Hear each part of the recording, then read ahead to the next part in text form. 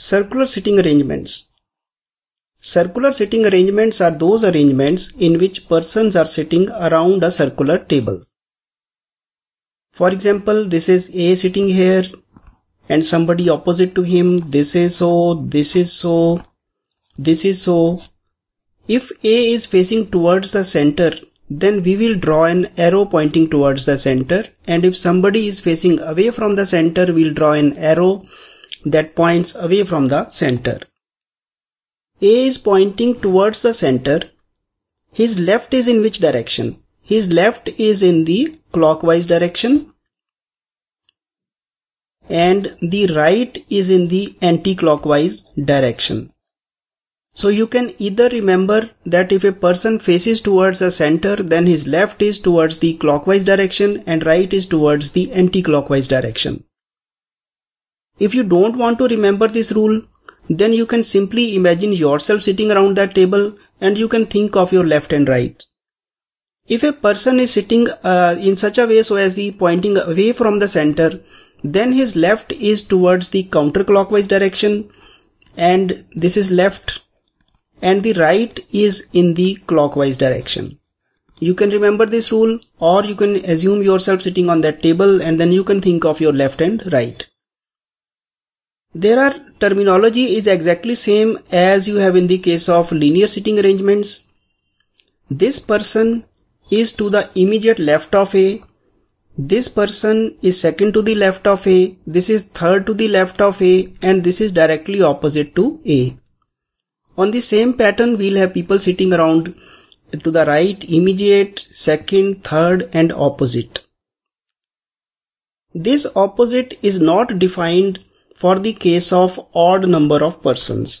Odd means 3 persons, 5 persons, 7 persons. In that case, this opposite is not defined because if, for example, 3 persons are sitting, then you cannot say who is opposite to A in this case. And you won't find even a single condition in that question in which odd number of persons have been given the condition saying that so and so is sitting opposite to so and so those conditions will be not given in those questions and that will be a very lucky position. Now if the number of persons is even like 4 6 8 like i have drawn above then the opposite is defined. Persons cannot be seated just around a circular table. They could also be seated around a square or a rectangular table. Persons could be seated around the edges. For example somebody sitting here here here here or even more possibilities are there like this and like this. And persons could be seated on the corners also. Now if somebody is seated on the corner then they will be opposite to each other. Like these these pairs sorry like these pairs they are opposite to each other. Now this opposite to each other is defined even if the total number of persons sitting around a square table is odd because the opposites are being defined with reference to the corners. So with these definitions in mind and with this small dossier, you can begin to crack questions on circular arrangements.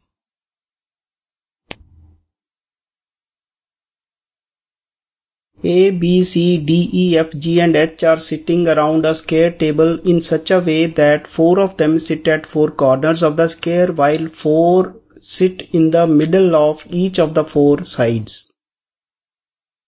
And the ones who sit at four corners face the center of the table while those who sit in the middle of the sides they face outside. Let us first of all draw a rectangle or square to represent this situation. He says the ones who sit at four corners face the center. I'll draw arrows like this. They will tell me that these persons are facing towards the center and the ones who are sitting in the middle of the edges they face away from the center. Okay, this is the story at present. And there are 8 persons so I have 3, 5 and 8. Now let us start to uh, first one more thing is there each of them likes a different subject Hindi, Maths, English, Biology, Physics and these subjects are given to us, we have to allocate these persons to the places also and to the subjects also. C sits third to the left one, left of the one who likes geography. Now we don't know who likes geography because the persons are facing either outside or inside. Had all of them been facing the same direction, then we could have assumed any place as geography. But right now it is a bit risky, so we'll wait for the next statement. The next statement says, the one who likes geography faces outside. This means geography comes here, here, here or here because all four of them are facing outside. The one who likes geography faces outside. So we can safely assume this place to be geography because this is a symmetrical arrangement. Geography could have been assumed at this also, this also, this also. But this one we can start by assuming it here nothing wrong then only two persons sit between C and wait a wait a wait a wait a minute we have C sits third to the left of the one who likes geography. Now this is liking geography. Another thing is here that those which I am finalizing I'll write on the inside and those which are still under consideration I'll write on the outside. So geography is finalized so I've written it inside. C sits third to the left of the one who likes geography. Now the left of the person who likes geography would be this side and C sits third. So this would be second, this would be third. So C comes at this place C sits third to the left of the person who likes geography. The one who likes geography faces outside. Okay, we've already taken this. Only two persons sit between C and H. So if these are the two persons who are sitting, then H will come here still under consideration. So I'm marking it as H here and Another possibility is towards this side, one person, one person and H will be marked at this place. Next we have the one who likes maths sits on the immediate right of H. Immediate right of this H would be this position and immediate right of this H would be this position. Now this is going to lead me to a lot of confusion now. Two positions for H, two positions for maths. Whenever such a situation starts to build up, it is better to come and assume H to be at one of the positions. So it is possible now at two of the positions, I'll just pick this position as the position for H and treat it as finalized. Then I'll start continue to mark other positions and as soon as a controversy arises, I will abandon this and then assume that H comes at this position and start marking it all over again. This approach might look longer, but this is the only practical approach in this case. And another thing is that if I am working and I'm uh, I have worked it so long and I have got sure that H can't be at this position, then at least I am sure about H being at this position and a number of other given facts are already there. It will help me build it to certain extent. And in case I find that time is running out, I don't have enough time in the exam, then what I can do is at least on what basis of what I have definitely assured or what I have definitely marked I can at least go and solve the four or five questions that are attached to this arrangement. Possibly I'll get two or three of them right on this basis only.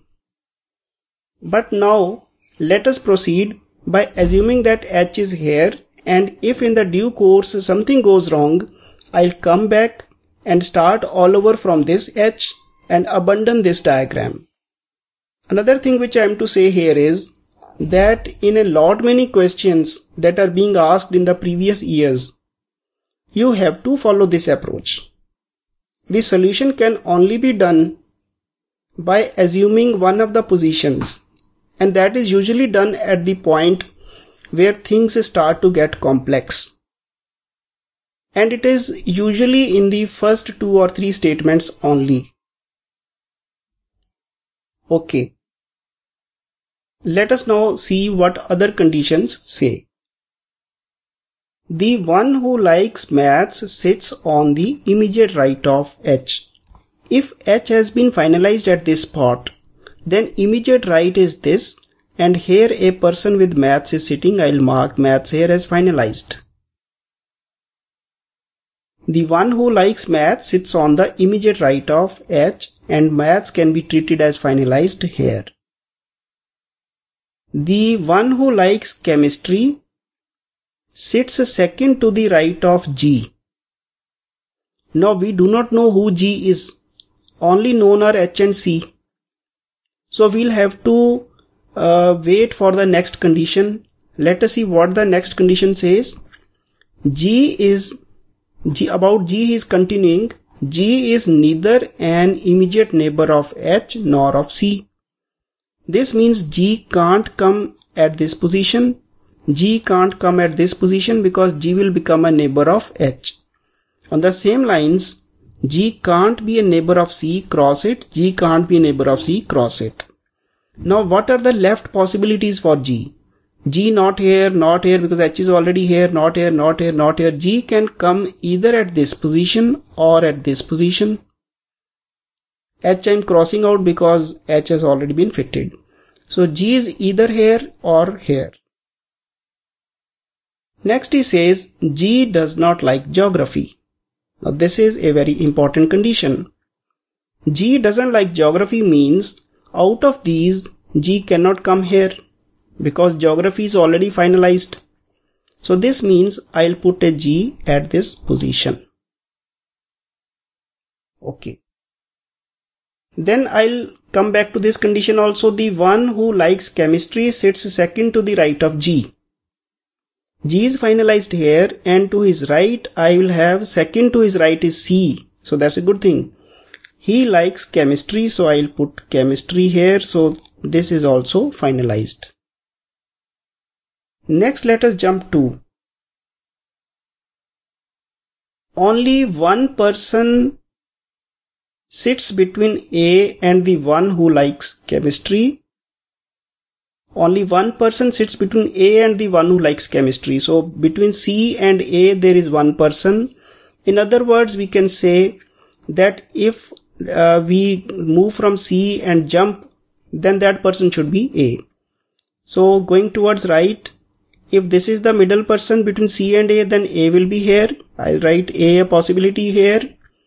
And if I move towards this side then between then if this is G this this position is between C and that person then this will have to be A. But G is already there. So A cannot be towards this side of C. A has to be at this spot. This is the only one possibility. So I'll say that A is maths and A is also finalized next he says D sits on the immediate left of the one who likes physics. Let us see where can D come now. G's left is this one. This means D can't come here. So I'll put a cross because D will come only to the left of the person who knows physics. D can't come here. The left of this chemistry is this so D can't come here either. The left of this person called maths so D can't come here also.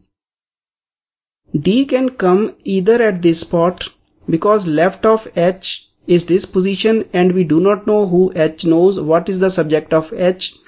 So one possibility for D is this. The second possibility is this position also because left of this G we do not know the subject of G so left of this G is this the person who knows geography. So we can write D here, D is a possibility here. G and C are already decided and D can't come here because we have already crossed it. D can't come here, it has already been crossed. and this D can't come here because it's already A, H can't, here D can't come because it's already H. So we have two positions for D, either this or this. What he says next? G does not like physics. So G does not like physics. If G does not like physics, then the left position to G can't be for D. So the left is this, we thought it would be here, but it can't be here because G doesn't like physics, so D can't be at this position. This leaves me, this position is only for D, so D will have to be placed here. Since D is to the left of somebody who knows physics, I'll have to finalize this H as physics. So a lot of images emerging and still now I haven't met any contradiction. So if I'm lucky enough, I'll pass through. E likes, e likes history. Now where can E be? This is somebody D, can't be E, this is somebody H, A. E could be at this spot, so I'll mark it A and E can't be at G, E can't be at geography. So E will have to be either at this spot. I'll mark it as E because E is somebody who knows history. So E will be either at this spot or this spot. Now I need to sort out where is he. E is not an immediate neighbor of A. Now this E if E comes here, then it will become a neighbor of A because A is already finalized here. Cross E, therefore E will come at this spot only and I'll mark it as history. So this is also finalized. Then he says, the one who likes Hindi is an immediate neighbor of E. E is finalized here. One neighbor is chemistry, the other neighbor is not known so this is going to be history Hindi. So I'll write it as Hindi. The last line now says the one who likes biology is an immediate neighbor of F. Where can F be? Uh, one possibility is this. F could be geography. G is here, E is here, C is here. Other possibility could be this position. A is already here, H is already here, D is already here. So F is either here or here. Now he says the one who likes biology is an immediate neighbor of F. Now the neighbors of F are maths and chemistry here so F can't be here. So we can simply rule out F here. And one who knows biology is an immediate neighbor of F. We do not know anything about D so it is probably going to be bio. Bio because this side is Hindi is confirmed for us. So we'll write geography for F. And now D bio, H physics, A maths, this nobody's known, C chemistry, E history, G Hindi. So I think the last pair that is left will fit here without any, without leading to any contradictions. The last one is B and B has to be for English. So this is what completes this whole puzzle. So we can see that if we proceed systematically and is little bit of risk in the beginning when we chose to go for H at this position. If you are lucky enough, things will help you out. But even if something goes wrong, some contradiction occurs, it occurs quite early even. So that's a good time at which we can roll back and these puzzles are after all not very complicated also. So solution will be there. A bit of risk taking in the initial stages is required.